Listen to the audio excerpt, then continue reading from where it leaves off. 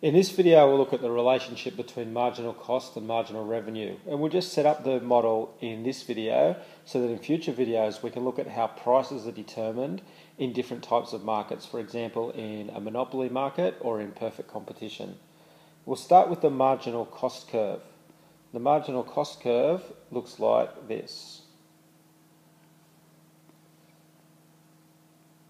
The marginal cost curve shows the cost of each extra unit of output. The marginal cost falls at low levels of output, and that's because there are increase in marginal returns on every extra unit of input which is added. But eventually the law of diminishing returns will set in, and that means the returns on each input will increase at a decreasing rate, and therefore the cost of producing each extra unit of output will start to increase. The marginal cost curve will look different in different types of markets. The marginal revenue curve is the extra shows the extra revenue that a business will receive from increasing its output. I'm going to use an example from a perfect competition market. In perfect competition, businesses cannot set the price. They have to charge whichever price is the uh, is the market price so we'll call this PL. And this price level means that for every unit of output which the business sells, they'll receive PL as the price for that unit. Now we would expect from other economics videos that we've that we've looked at that we're going to end up at the equilibrium point where marginal cost and marginal revenue intersect. And that's true again for this video, but we're going to have a look at why that is.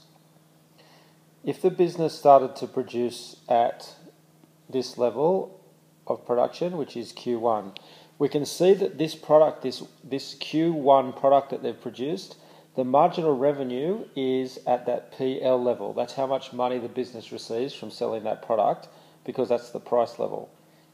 The cost of the business is seen on the marginal cost curve of that particular product will only be down here at P1.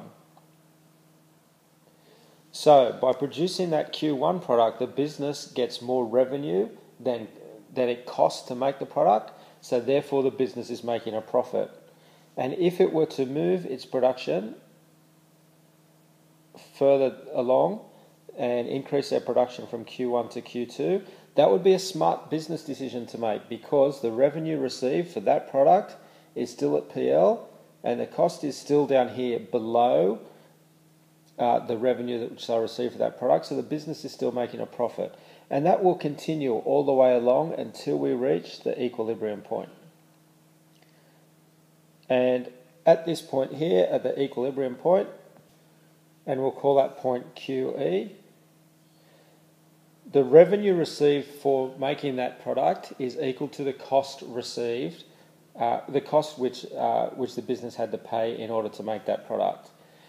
If the business were to increase production further, so now if we move the production beyond that intersection point, past QE to Q3, the revenue which re- is received for making that unit is still at MR, is still at the PL level but the cost of making that product is higher.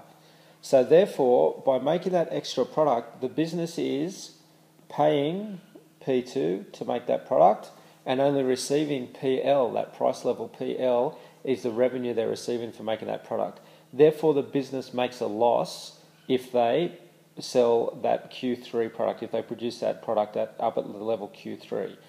So therefore, all the way up until QE, the business is making extra profit by making more products.